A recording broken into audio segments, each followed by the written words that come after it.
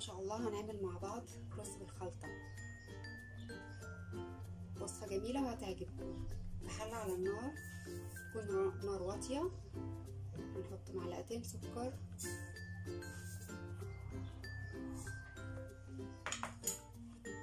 الحله اللي انت بتستخدميها اللي انت متعودة عليها. دي حلة سلستيل عادي ما تقلقيش طالما النار واطية مش هتتلسع ولا يحصل لها أي حاجة. هنسيبها على مهلها لغاية السكر ده ما يتكرمل.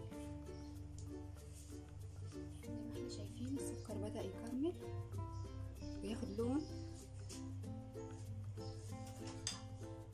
هبدأ إن أنا أقلبه في الوقت ده عشان اللي ما أخدش لون ياخد. الفجينات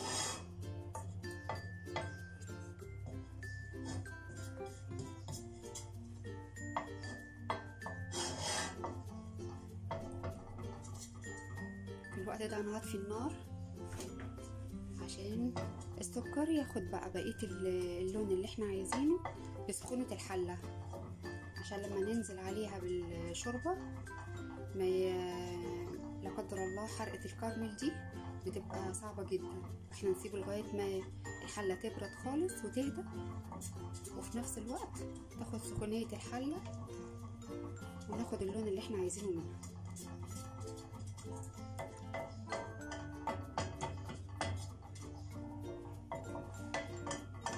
إحنا شايفين اللون بقى جميل. أنا كده طافيه خلاص النار.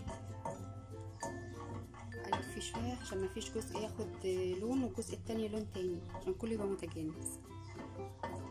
في نفس الوقت مش عايزين ياخد لون جامد علشان ما يبقاش مر. مرارة السكر برضو مش كويسة بتدي طعم مش كويس. خلاص كده بردت معانا الحلة.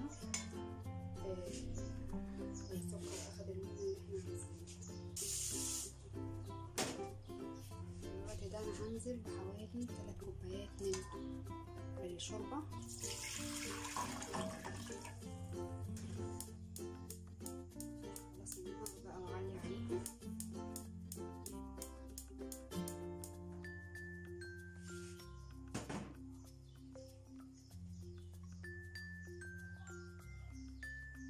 ومعايا هنا ملح وفلفل وشوية قرفة وعود قرفة. دول اللي هيتحطوا في الرز بالخلطة.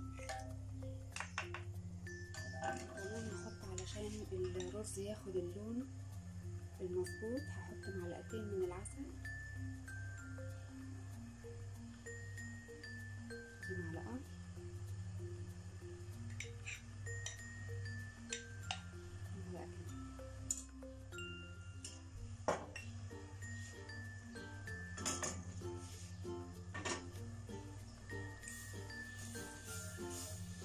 السكر جبت معاكي تحت الكرمل جامد شوية شوية مع سخونية المية والنار مولعة عليه.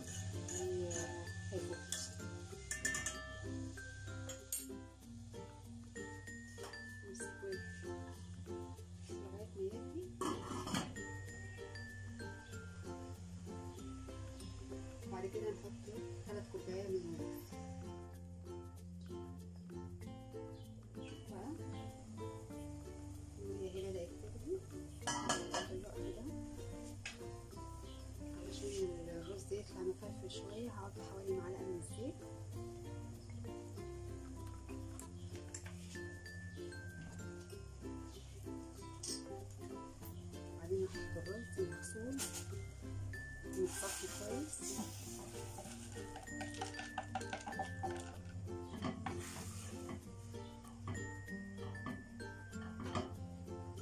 عود القرفة اللي إحنا حطيناه والعسل والكرمل اللي إحنا عملناه ورشة القرفة هم دول اللي هيدوا للرز اللون المطلوب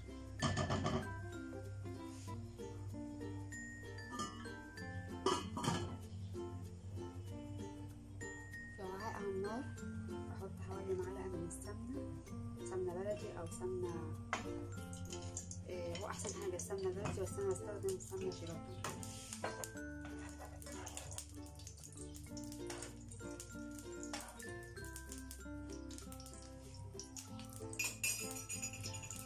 السوداني اللي هي اللي عايزاها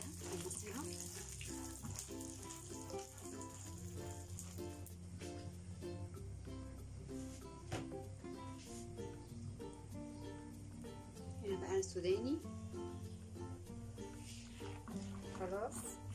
التحميصة واللون اللي أنا عايزاه. لو عندك لوز طبعا يبقى أحسن. متوفر الموجود يعني.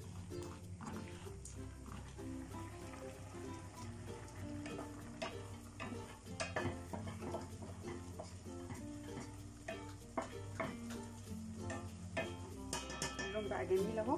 هنبتدي بقى نوطي النار.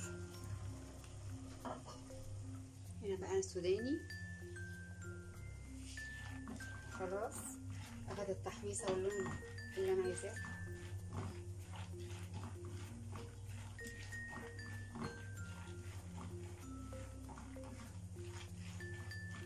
تمام. في نفس الطاسة. هنزل بال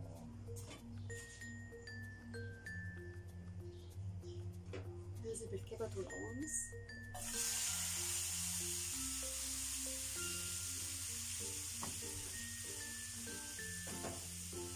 عالية علشان ما تنزلش مية.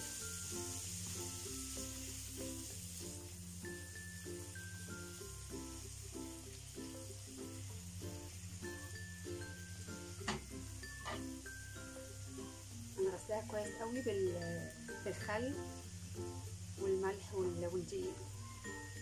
شايفين؟ بدأ اللون بتاعها يتغير. الوقت ده أنا هنزل بنفس التوابل اللي نزلت بيها على الرز بس القرفة المرة دي قرفة بودر بس قرفة وملح وفلفل.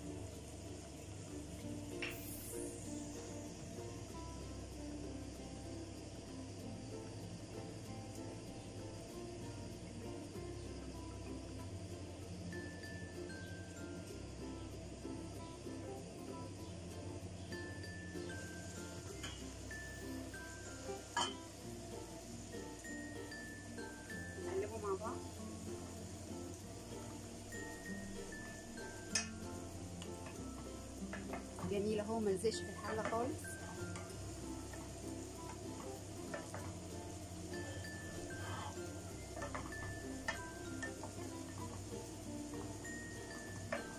الوقت ده أنا هحط له هو دلوقتي هو بدأ في السوا. الوقت ده أنا هحط له الزبيب اللي أنا عايزاه. يفتح حطي كمية الزبيب اللي أنتي تحبيها وعيلتك تحبها إحنا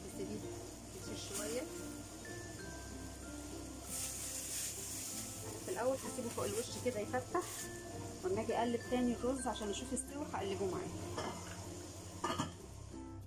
نشوف مع بعض دلوقتي الرز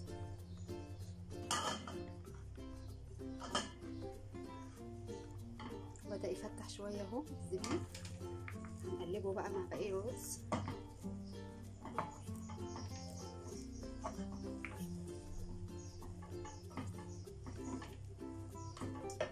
سوا أكتر.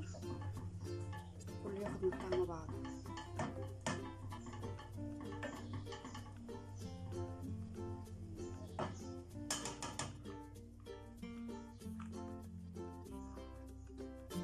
الفلفل اهو جميل من كام الزيت اللي إحنا حطيناه.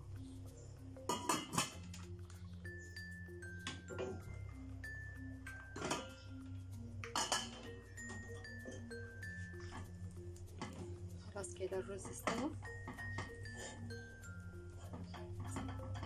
هنغرفه بقى شوفوا الشكل الجميل مع بعض وأجي الرز بالخلطة أهو. خلص معانا. ولون الرز جميل ومفلفل. واللي ده اللون ده. معلقتين العسل. معلقتين السكر الكراميل اللي إحنا عملناه.